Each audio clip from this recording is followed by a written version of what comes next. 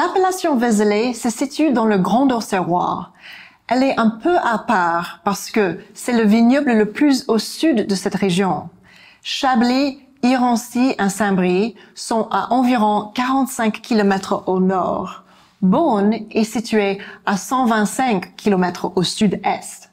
Il s'agit donc d'une zone viticole assez isolée par rapport aux autres régions de Bourgogne. Le vignoble de Vézelay est situé sur quatre villages.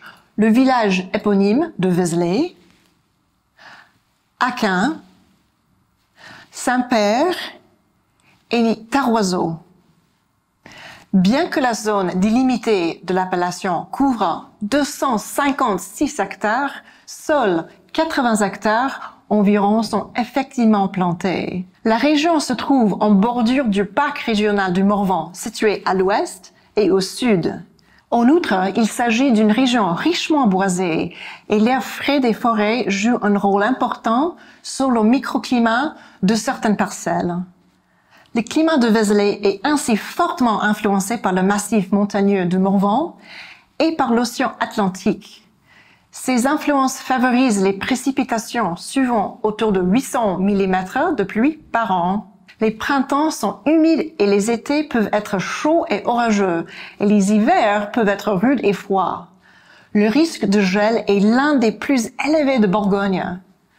La région peut connaître des variations de température annuelles assez spectaculaires, ce qui confère au climat de Vézelay une tendance continentale. En hiver, les températures peuvent facilement descendre jusqu'à moins 10 degrés, alors qu'en été, elles peuvent atteindre plus que 30 degrés. Ces différences sont généralement beaucoup plus marquées dans la région de Vézelay qu'en Côte d'Or ou même dans d'autres régions de Grand Auxerrois, souvent plus tempérées.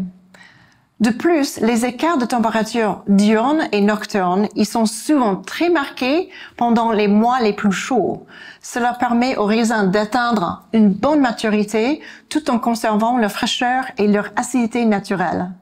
Comparable à celui de Chablais, le vignoble de Vézelay est divisé entre la rive gauche et la rive droite de la cure qui se jette dans l'Yonne.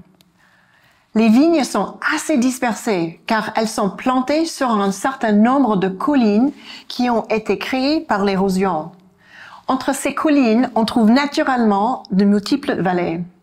Le vignoble est planté principalement sur des coteaux parfois assez raides, exposés au sud-est, au sud et au sud-ouest, afin d'obtenir la meilleure maturité possible dans ce climat septentrional. Actuellement, toutes les parcelles classées pour produire l'AOC Vézelay respectent ces expositions. Mais à l'avenir, avec l'influence du changement climatique, cela pourrait évoluer. L'altitude varie également d'un endroit à un autre de l'aire de l'appellation, allant de 190 mètres à 330 mètres. Sur la rive gauche, l'altitude est légèrement plus basse et se situe autour de 280 mètres au point le plus élevé du vignoble, au lieu dit la ville, située juste en dessous de la basilique de Vézelay. Les vignes plantées sur la rive droite sont légèrement plus hautes, notamment autour du village de Taroiseau, qui culmine entre 240 et 330 mètres au-dessus du niveau de la mer. Les lieux-dits plantes au clair et la garde de Thiers sont parmi les plus élevés.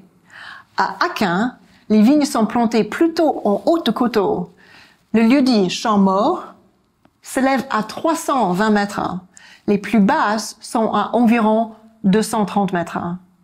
Le pittoresque village de Saint-Père possède des vignobles sur les deux rives de la cure. Sur la rive gauche, au lieu dit les Saulniers, affectueusement appelés la banane, les vignes se situent entre 240 et 260 mètres d'altitude. Sur la rive droite, le lieu dit Chaume du Gros Mont s'élève à environ 300 mètres, ce qui en fait son point culminant. Le terroir de Vézelay est typiquement bourguignon. Il date de la période jurassique, il est majoritairement calcaire, c'est parfait pour le chardonnay. Un producteur décrit poétiquement Vézelay comme le premier récif corallien de la mer jurassique.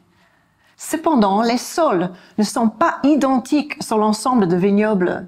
Tout d'abord, le sol de la rive gauche est plus jaune que celui de la rive droite, car une faille entre les deux rives a déplacé les couches il y a de nombreuses années.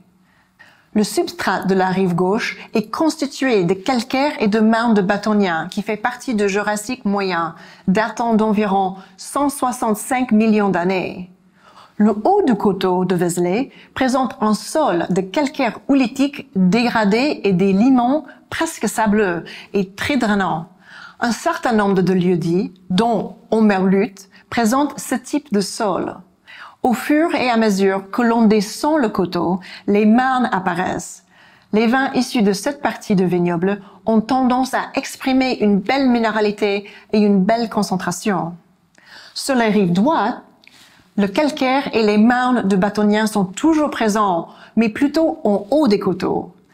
De nombreux vignobles situés à mi-coteau sont plantés sur des marnes et des argiles de Toarcien, L'ère toarcienne fait partie du Jurassique inférieur et remonte à environ 180 millions d'années. Ces sols sont généralement beaucoup plus lourds que ceux de la rive gauche. Par conséquent, ces vins ont tendance à être plus fruités et plus ronds que ceux de la rive gauche. On trouve également des couches de calcaire à Antroc qui contiennent des fossiles marins, comme par exemple sur le lieu dit Comnoisé. Dans les marnes du bâtonien présentes sur les deux rives, on peut voir des fossiles de palourdes en forme de cœur et sont donc appelés curiaux. On trouve ces mêmes fossiles dans d'autres appellations comme Rully en côte chalonnaise. Comme dans une grande partie de la Bourgogne, le terroir est très nuancé et laisse apparaître de nombreuses variations. Par exemple, le lieu-dit, les saulniers, a des sols rougeâtres en raison de la présence d'oxyde de fer. Dans certains secteurs sur la rive droite, les sols ont une grande proportion de calcaire. Ces poches de calcaire peuvent apporter plus de minéralité au vin. On voit donc que l'appellation Vézelay, par son climat, sa topographie et son terroir, est vraiment unique en Bourgogne.